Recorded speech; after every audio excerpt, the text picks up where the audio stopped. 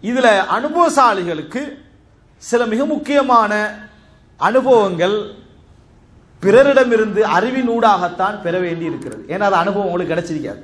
எது? அனுபவத்தை எப்படி பகிர்றன்ற அனுபவம் எப்பயா கிடைச்சிருக்குமா உங்களுக்கு? அனுபவத்தை எப்படி கொண்டு போய் சேர்க்கிறது? எப்படி சொல்றது? எப்படி எத்தி வைக்கிறன்ற அனுபவம் உங்களுக்கு கிடைக்கல. அது பெஸ்ட் முறை இப்பதான். அறுபது வயசுலாம் பெஸ்ட் முறை அவர் அனுபவிக்க போறாரு எப்படி சொல்றது எப்படி எடுத்து வைக்கிறேன்றது. அதனால் இதில் நிறைய குறைகளை பார்க்கலாம்.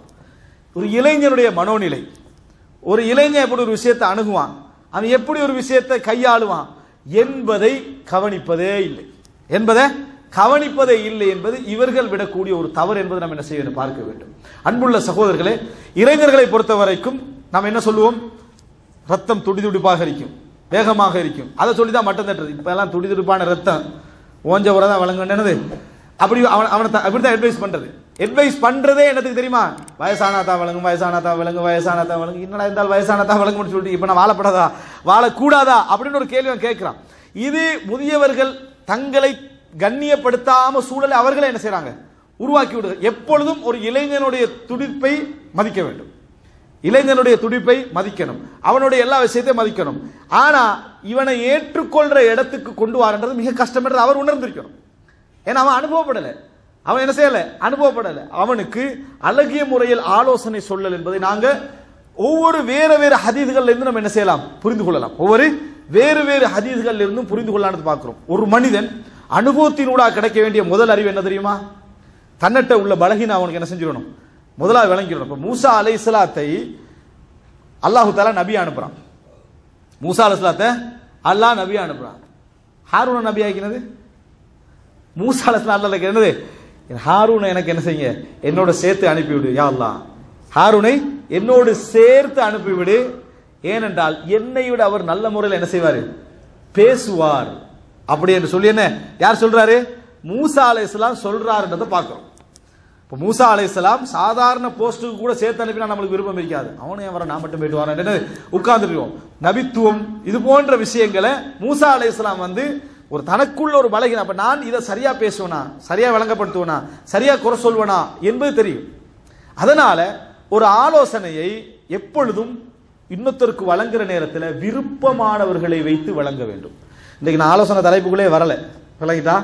ஏன்னா ஆலோசனை வழங்கல் என்பது அது ஒரு தனி டாபிக் அது வந்து நிறைய பேசப்படணும். விளங்கிட்டா?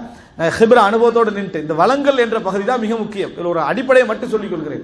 எப்பொழுதுமே ஆலோசனை வழங்கப்படுகிற நேரத்தில் விருப்பமானவர்களை வச்சு தான் சொல்லணும். நீங்கள் பார்க்கலாம் பெற்றோர்கள் அது அனுபவம் இல்லாமலே செய்வாங்க. ஃப்ரெண்டை கூப்பிடுவாங்க. நீயாவது சொல்லு அவனுக்கு வழங்காது. என்னது? நான் சொன்னால் என்ன செய்யறான்? இல்லை. கேட்கிறான் இல்லை. நீயாவது சொல்லுன்னு வகுப்பில் உள்ள ஒரு பொடியனை பிடிச்சி ஒரு பையனை பிடிச்சி என்ன செய்வாங்க? சொல்லுவான்.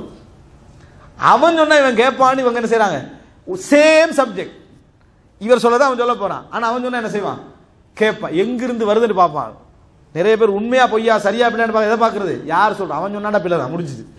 கேட் என்ன செஞ்சிரு? க்ளோஸ் பண்ணிடு அவர் சொல்ற அதை அதெல்லாம் நமக்கு தேவையில்லை. அந்த ஆளை நம்ம பார்த்து வாங்கிக்கிறோம்னு மூடிடுவாங்க.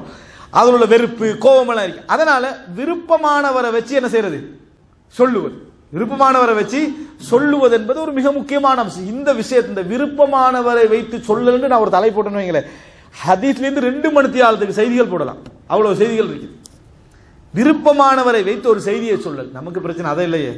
எவனும் சொல்லப்படா நான் தான் சொல்லணும்ன்றது மற்றவன் மாறணுமா திருந்தணுமா கேட்கணுமான்றதல்ல. யார் சொன்னாண்டா ஏட பேர் என்ன செய்யணும்? வரணும். ஒரு நோட்டீஸில் முப்பது இடத்துல பேர் போட்டிக்கிறான். ஒரே ஒரு நோட்டீஸ் தான். இன்னார் ஆரம்பிக்கிறேன் இன்னார் முடிக்கிறது பக்கத்தில் அங்கே இங்கே எல்லாம். அந்த லெவலில் என்ன செய்வாங்க? நான் தான் நான் தான் காட்டுறதுல என்ன? மிக முக்கியமான கவனம் எடுக்கிற நம்மளோட பிரச்சனை. மார்க்க கேள்வியே கேட்டு வந்தாலும் கூட நம்ம பதில் சொல்றோம் அது நமக்கு தெரிஞ்ச விஷயம். நீங்கெல்லாம் அதுக்கு பதில் சொல்ல நானே சொல்லலாம்னு பாஞ்சு வந்து செஞ்சிடறாங்க.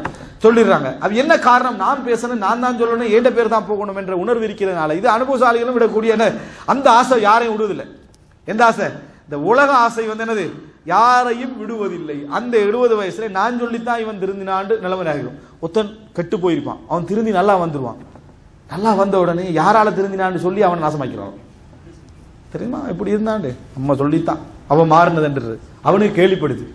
இவன்கிட்ட போய் நான் கேட்டேன் என்ன மான மரியாதை இவன் வாங்கிடுவான் போல இது அப்படின்னு அவன் நினைக்கிற அளவுக்கு நான் சொல்லித்தான் இவன் திருந்தினான்னு சொல்றது. அதுல நம்ம யாருமே என்னது? திருந்தினா சந்தோஷப்பட்டு அல்ஹம்துலில்லாஹ் அதெல்லாம் இல்லை. நான் சொல்லி திருந்திக்கணும் அது உலகம் ஃபுல்லாக போகணும். அவன் உலகம் ஃபுல்லாக போகணும் என்று. இந்த பிரச்சனை பெரியவர்கள் செய்யக்கூடிய ஒரு பிழை. ஒருவரை ஒரு ஒரு இளைஞனாக இருக்கலாம் ஒரு யுவதியாக இருக்கலாம் ஒரு ஒரு ஒரு விஷயத்தை அட்வைஸ் பண்ணுகிற நேரத்தில் அவனுக்கான பொருத்தமான நேரம். பொருத்தமான நபர் பொருத்தமான இடம் என்பவைகளை யாரும் நாம் என்ன செய்வதில்லை கண்டுகொள்வதில்லை. அன்புள்ள சகோதரர்களே இன்ஷா அல்லாஹ் இந்த பகுதி அதாவது ஒரு ரெண்டு பகுதியாக நம்ம என்ன செய்வோம்? வைத்துக்கோ பத்து மணி. இதுக்குள்ள நுழைஞ்சா பதினோரு மணி. அப்புறம் நமக்கு அனுபவம் வெளியாயிரும். அதனால அதாவது இந்த அனு- அதாவது அனுபவமும் ஆலோசனை வழங்கணும் என்ற பகுதியில் அனுபவம் பிரதானமானது. அனுபவத்துடைய வரைவிலக்கணம் என்ன? அனுபவம் வழங்கக்கூடியவர்களுக்கு இஸ்லாம் கொடுக்கக்கூடிய மரியாதை என்ன? வய- வயதல்ல என்ன?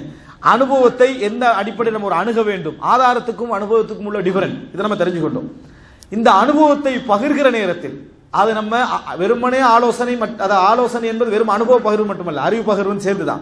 இந்த ஆலோசனை என்ற பகுதி எப்படி பகிரப்பட வேண்டும்? எதற்காக ஆலோசனை? சரிபிழை காண்பதற்கு மட்டும்தான் ஆலோசனையா? ஆலோசனையுடைய நோக்கங்கள் என்ன என்பது போன்றவற்றை இன்ஷால்லா வரக்கூடிய தொடரை நம்ம பார்ப்போம். அல்லாஹு தாலா நாம் புரிந்து கொள்கின்ற செய்திகளை வைத்து எமது வாழ்க்கை அல்லாவுக்கு விருப்பமாக சரி செய்து கொள்ளக்கூடிய வாய்ப்பையும் அறிவையும் தௌஃபீக்கையும் அல்லாஹு தாலா தந்தால் புரிவானாக. ஹாதா மா இந்தி வல் இல்மு இந்தல்லாஹ் வா அகூலு கௌலி ஹாதா வா அஸ்தக்ஃபிருல்லாஹ் லி வ